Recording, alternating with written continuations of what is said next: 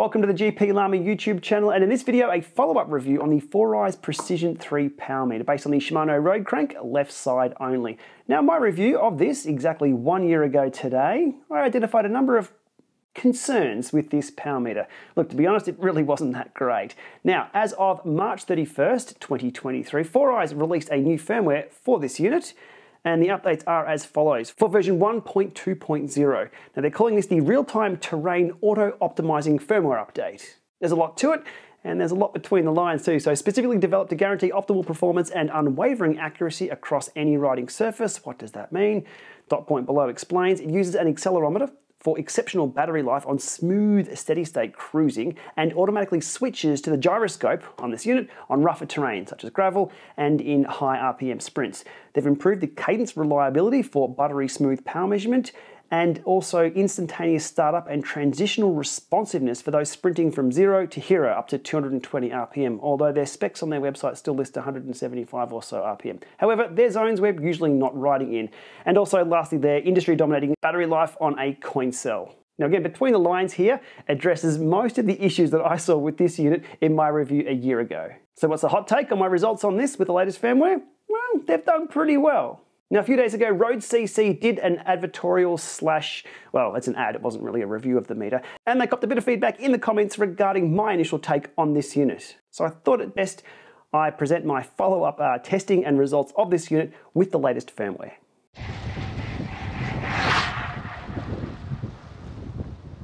Before diving into the data sets of my testing of firmware version 1.2.0, a quick history lesson on this power meter and the two main claims from the previous version. And that first one being 800 hours of claimed battery life, up from 100 hours on the P2, and a very, very low profile power meter pod on this crank. 4iiii are claiming compatibility with, I think, any frame on the market that will fit a Shimano crankset. Pulling up the full technical specifications, crank-based power meter Shimano left single-sided, that's the unit that I've tested. You'll get ANT Plus and Bluetooth Smart connectivity. CR2032, as mentioned, up to 800 hours of battery life. Power measurement, you'll get left power doubled to give you estimated total power. You'll also get cadence. Power accuracy, plus or minus 1. Power from 0 to 4000 watts. I can't test that. Cadence claimed here on the website specs of 30 to 170 RPM using an accelerometer with no frame magnet required.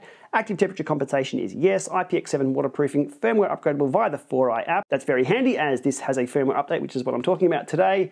The weight of the pod is around 9 grams and warranty 3 years. Two options of purchasing this, you can go a ready to ride where you just purchase the crank with the power pod already on there, or you can send in for a factory install. So send your crank in, they'll install the power meter on it and send it back to you.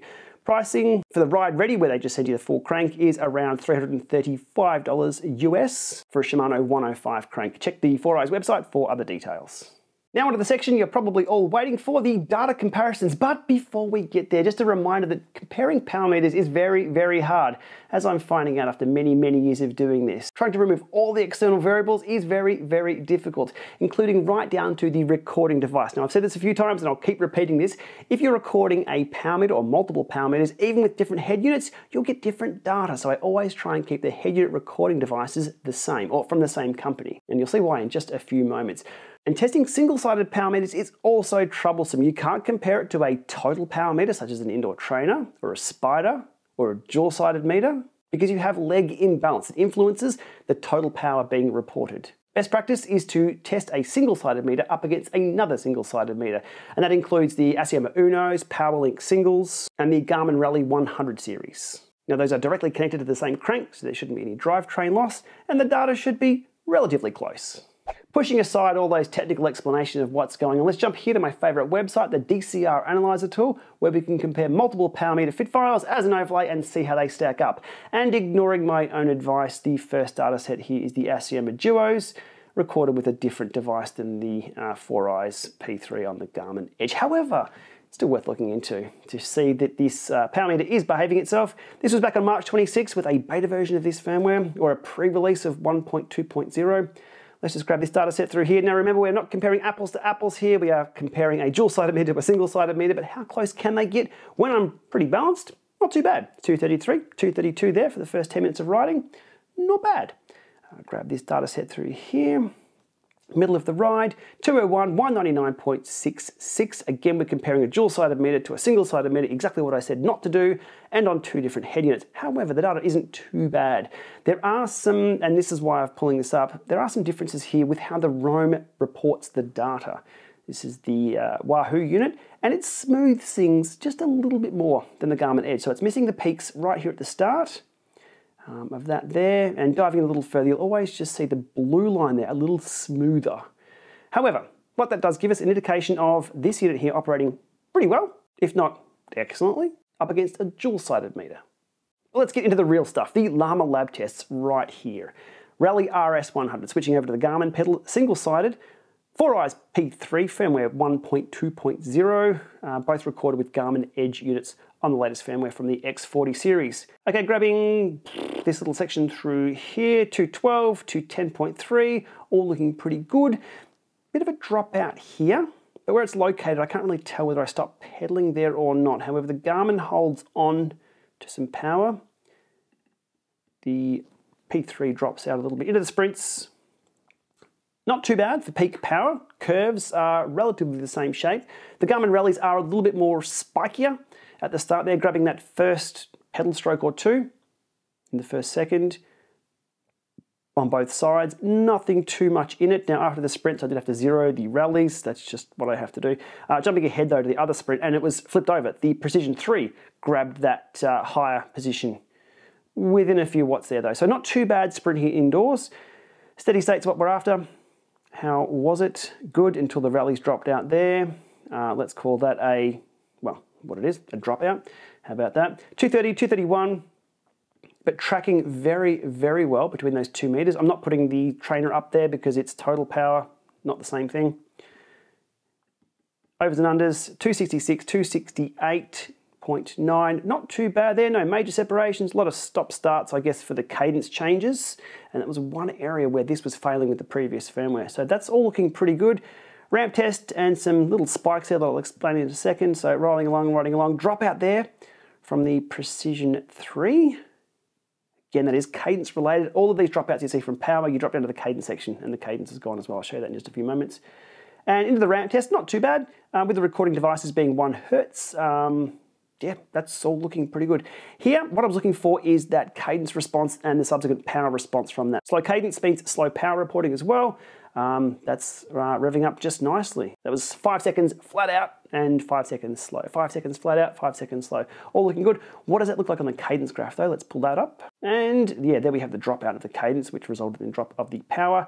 But the cadence here is what we're looking at, and they are almost one for one in those ramp ups. Previous firmware, especially the very, very early firmware on this unit, cadence was three to four seconds slow, I believe. So they have addressed that issue.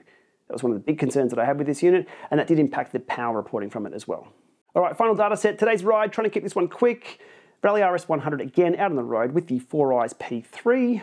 Just riding along, just riding along. Reverse sheep patrol. 219, 217 with a few stop starts, a few spikes there from the rallies at the end of those. Uh, of note, two dropouts here again. I had, I think, three or four dropouts from the Precision 3, and again, it's cadence related. Uh, so here and here.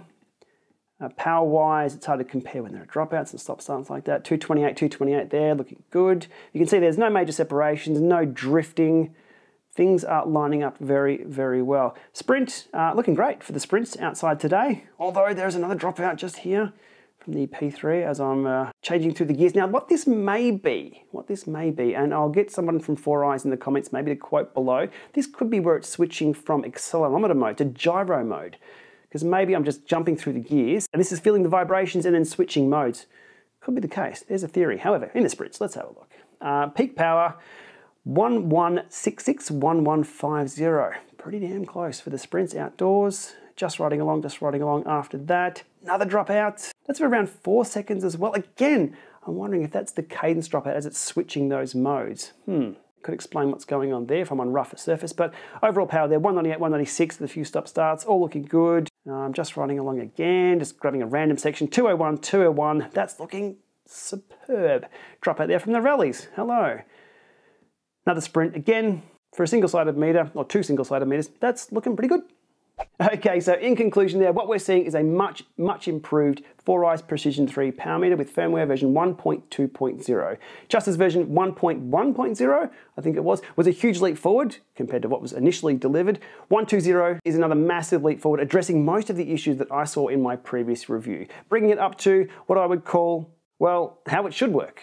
The cadence speed and the pickup of that is now good. Sprints were also very good. There was no lag or missing data there from this power meter. So with firmware version 1.2.0, I have two unknowns with this power meter. Firstly, that 800 hour battery life. Has that been reduced in any way, given the accelerometer during operation is a lot more responsive now?